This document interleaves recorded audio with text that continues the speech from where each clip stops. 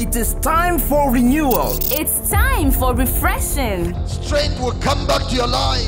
Understanding will flow to your way. As saints gather together to be charged and empowered. You're going back here renewed. You're going back from here free because of the power of the preached word.